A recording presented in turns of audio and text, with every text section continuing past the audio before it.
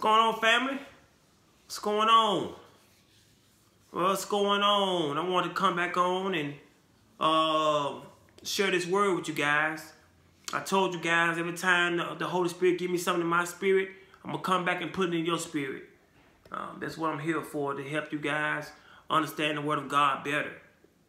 Um, I want to talk to you today about um, the angelic organization of the angels.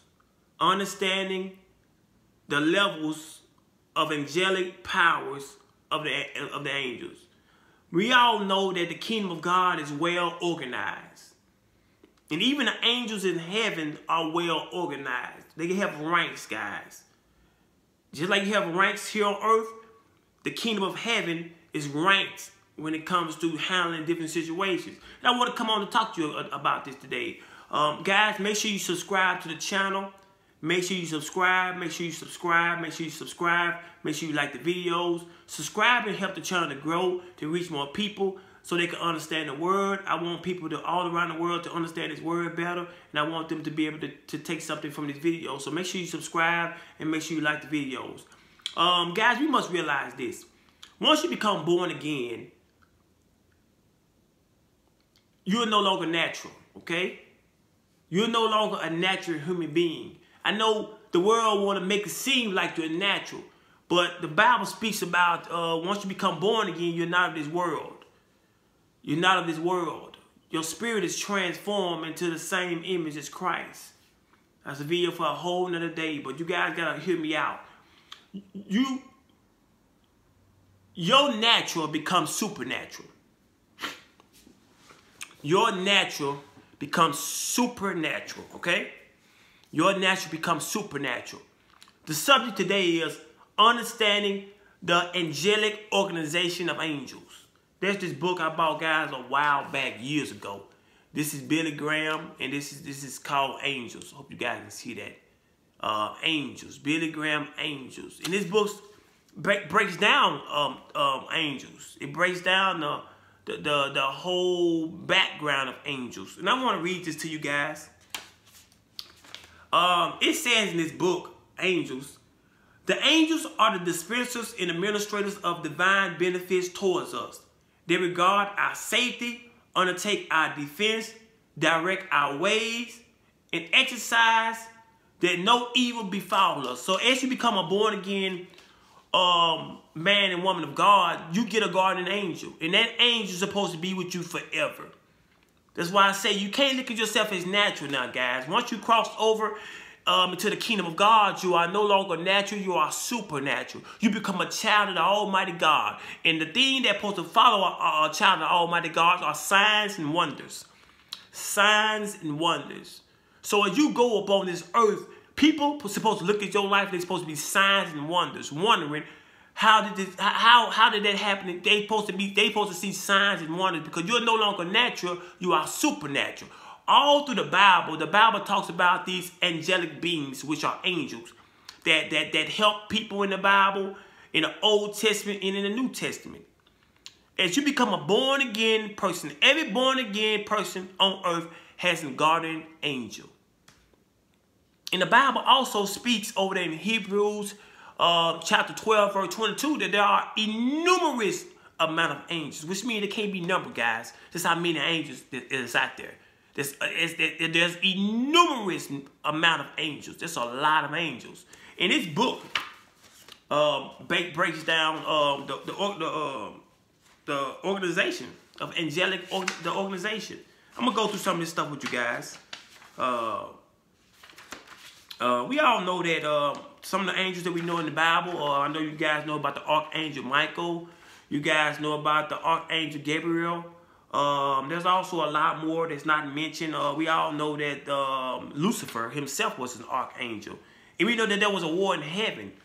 Uh, we know that um, angels move by the word of God.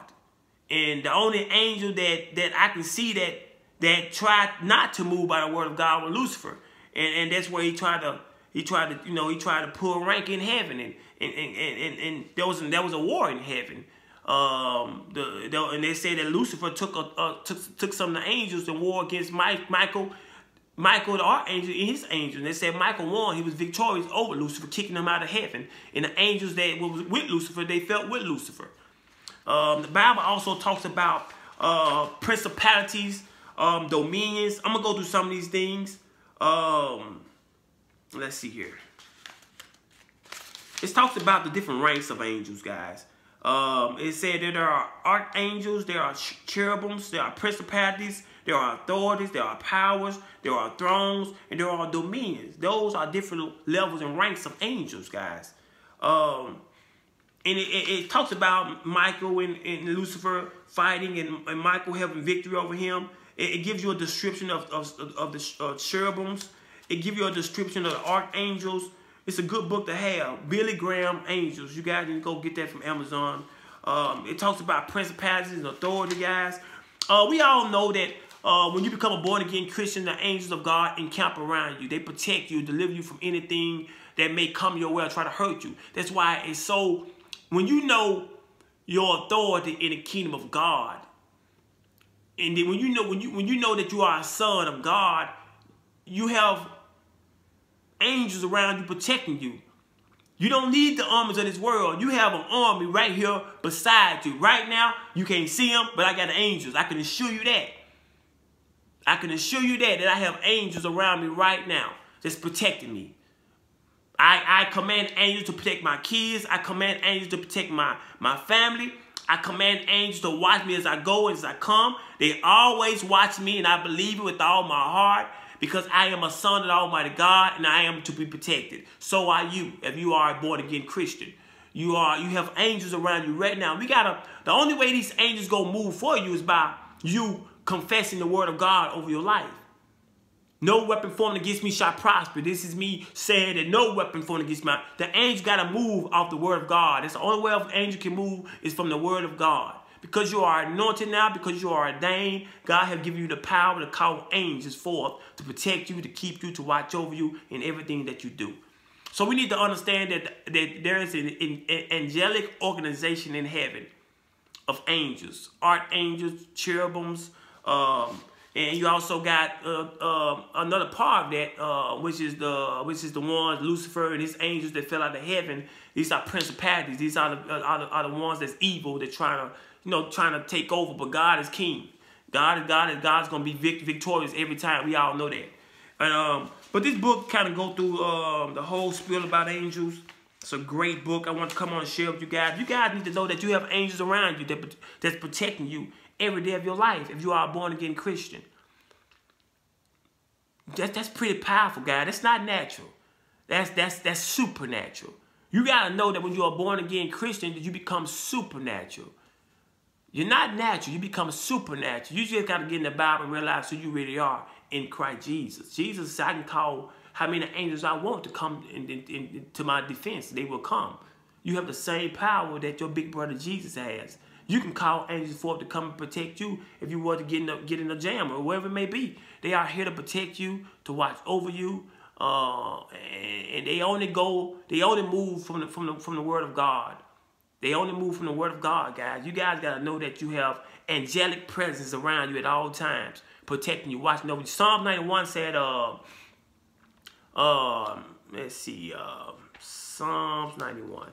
I think I can go through it right quick with you guys. Psalm 91. Uh, it says the angel of the Lord have charge over you. It said the Lord get a, he get an angel of the Lord charge over you to keep you in all your ways. So you need to know that angels are here to protect you, that they are very organized, that they are powerful, and that and that, and that they can they can they can do some great things in your life to help you get to where you want to be at. That's all I got, guys. I want to come on here and share this with you guys understanding the angelic organization of angels. Um, you guys make sure you go over there. They, they are in the Old Testament. They're also in the New Testament. They are. It's full of angels being used in this whole book. This book is not natural, guys. This is not a natural book. This book is supernatural. There's a lot of things in this book that's supernatural. It's a supernatural book made for supernatural peoples. Signs and wonders. That's, that's what you're made for. You're made for signs and wonders. Guys, I love you. Make sure you go get this book. Make sure you do some research on angels. They are here to, to minister to you, to minister to you, to keep you, to watch over you, to protect you. They are here for you, to help you. Let's do. Let's, let's read our Bibles. Let's let's be about it. Let's know that you are supernatural. You are made in the image of God. You are made in the image of Christ Jesus. He loves you, and he he he does everything to protect you, to watch over you, and to keep you. I love you guys. Until next time, you guys make sure you like the videos. Make sure you subscribe to the channel. I'm gonna be putting up more content like this. Let me know what you think in the comments. I love you guys. Till next time, you guys be blessed.